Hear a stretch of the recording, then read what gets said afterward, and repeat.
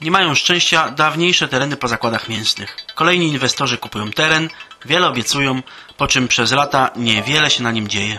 Przy jednej z głównych dróg naszego miasta, zamiast stylowej zabudowy, każdy przyjezdny może zobaczyć widoki niemal powojenne.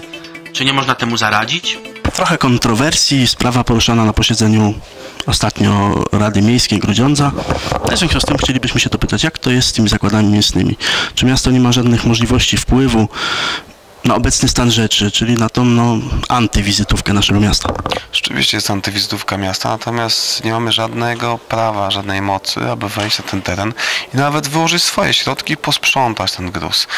Dopóki nie ma tam niebezpieczeństwa w zagrożeniu zdrowiu lub życiu mieszkańców miasta, bo teren jest, pamiętajmy, ogrodzony, jest pilnowany przez Agencję Ochrony, dopóty nikt, żadna instytucja, czy to podległa urzędowi, czy też powiatowi inspektora nadzoru budowlanego, czy też inne instytucje, no nie mogą nic zrobić, ponieważ teren jest ogrodzony i jest systematycznie pilnowany. To co robimy, to staramy się zarówno z tym poprzednim właścicielem tych zakładów mięsnych, który odkupił to od syndyka jeszcze masy podłościowej zakładów mięsnych, jak i z tym nowym właścicielem, no po prostu rozmawiać. Yy, Obecnie właścicielem jest pan yy, z Austrii, przysłał tutaj swoich przedstawicieli z Wiednia i tak naprawdę cokolwiek mają pomysł na ten teren, to miasto idzie im na rękę. Chcieli zmiany planu miejscowego pod nowe, różne inne nowe formy. Przedstawiliśmy to pod obradę Rady Miejskiej. W tej chwili trwają prace planistyczne. Obiecał nam inwestor, że do końca zeszłego roku gruz będzie posprzątany. Jak widzieliśmy, jak wszyscy widzimy, no gruz jest tylko częściowo posprzątany i tak naprawdę zostają nam tylko kolejne listy i kolejne prośby o posprzątanie tego terenu.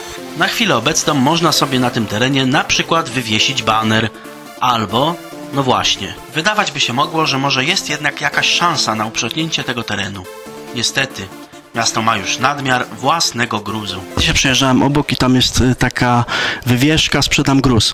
Może dobrym pomysłem byłoby, y, jakby miasto na utwardzenie dróg na przykład zakupiło od tego inwestora ten gruz i w końcu może on by niejako w ten sposób posprzątał. Oczywiście to pół żartem, Znaczy gruz y, sprzedaje akurat bo to firma z Grudziądza. Gruz sprzedaje firma z Grudziądza, która jakby tam prowadziła wyburzenia i prowadzi, więc tutaj no my z kolei już mamy na prowadzenie dróg ograniczone środki, tak? To są wydatki bieżące na remonty dróg i na pewno z- no nie będziemy gruzu kupować zakładów mięsnych na drogi, gdyż mamy nadmiar, mieliśmy w zeszłym roku choćby samych frezownic, sfrezowanych ulic, a w tym roku kolejne remonty i będziemy na drogi gruntowe mieli własny, jakby czy to gruz, czy te frezowiny z frezowania poszczególnych nawierzchni asfaltowych.